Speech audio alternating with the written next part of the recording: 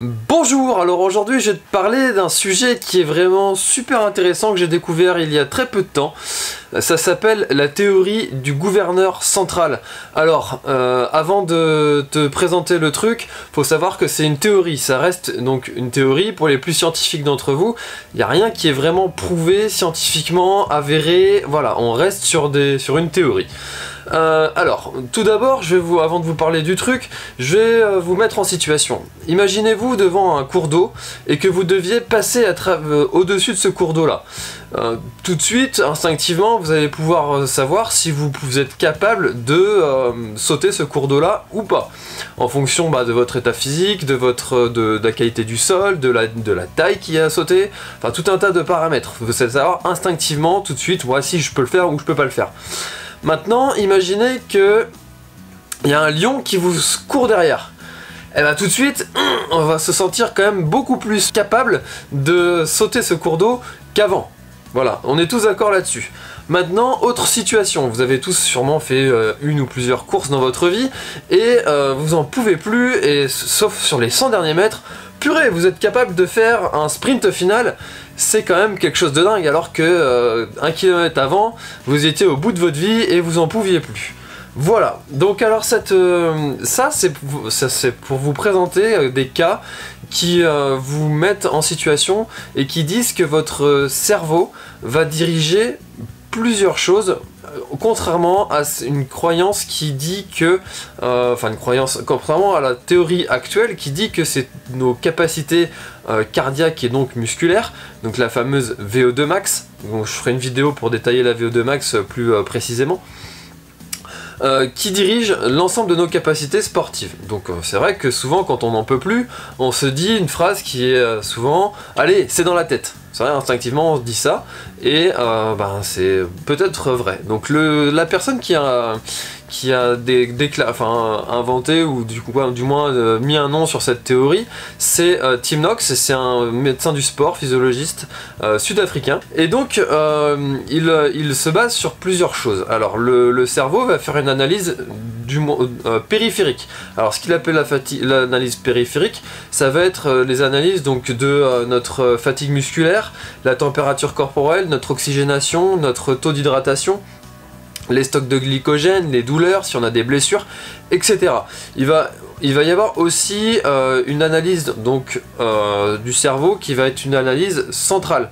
Euh, donc ça c'est plus en rapport avec donc notre cerveau et donc ça va être donc notre expérience sur la distance, la performance dont on s'attend à faire sur cette épreuve là, la confiance qu'on a en soi, le travail mental.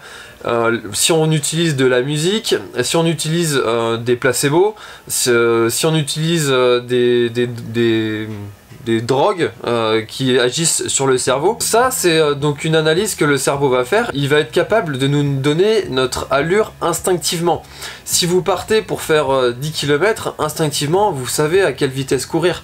Contrairement à si vous partez pour un 100 mètres, bon bah forcément vous allez aller moins vite.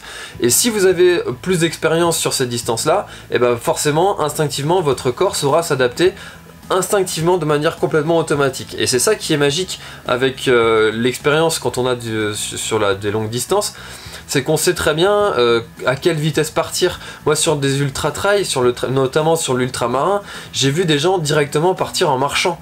Alors euh, bon voilà, ça devient de la randonnée rapide et puis vraiment de la course, mais voilà, instinctivement les gens ils savaient que ça servait à rien qu'ils partent en courant parce qu'ils de toute façon ils tiendraient pas sur la durée, et voilà, ils se partir en marchant.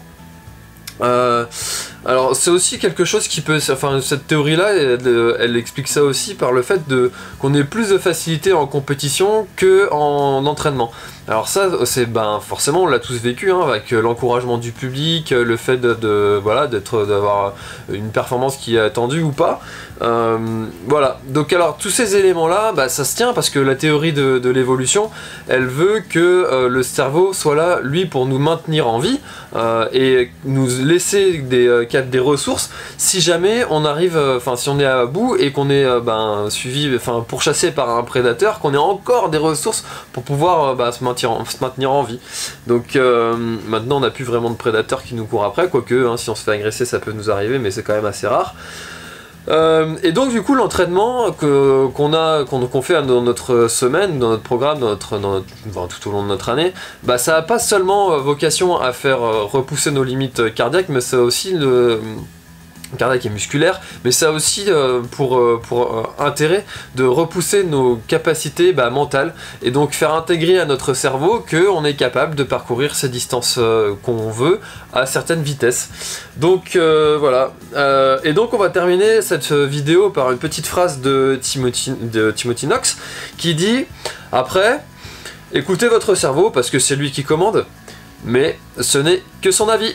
Voilà, bah écoutez, si euh, cette vidéo vous a plu, n'hésitez pas à mettre un petit pouce. Moi j'aime bien ces théories-là qui sont un peu euh, subversives et qui euh, cassent un peu les codes.